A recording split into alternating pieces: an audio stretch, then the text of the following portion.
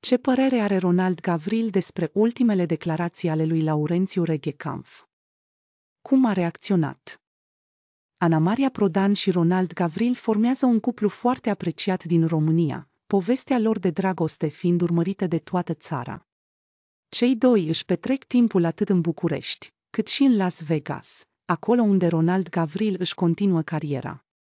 Iubitul vedetei are o relație excelentă și cu restul familiei sale. Cum a reacționat Ronald Gavril după ultimele declarații ale lui Laurențiu Reghecampf?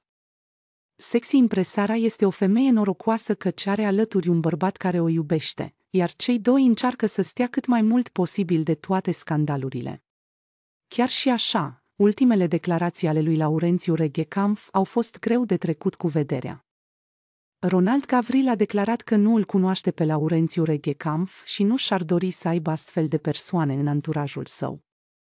De asemenea, Ronald Gavril a spus că, fiind bărbat, nu ar putea să se pună în situația de a comenta acest lucru, refuzând să vorbească despre Laurențiu Reghecampf.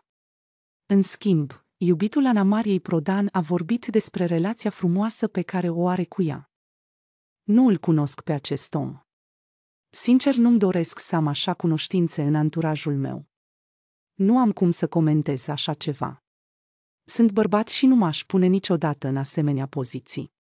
Ce pot să vă spun, însă, este că o iubesc pe Ana Maria, suntem fericiți, iubesc copiii Anei, avem o relație superbă, bazată pe respect și dragoste. Eu sunt Ronald Gavril și nu am timp de asemenea prostii sau de declarațiile din presă ale oricui. Eu mă pregătesc pentru meciul de titlul mondial la categoria Heavy Lift pe care compania noastră Gavril Prodan Tomotion îl organizează. Mă scuzați, plec spre antrenament. Mulțumesc, o zi frumoasă. A declarat Ronald Gavril, la știrile Antena Stars. Ana Maria Prodan a făcut declarații neașteptate.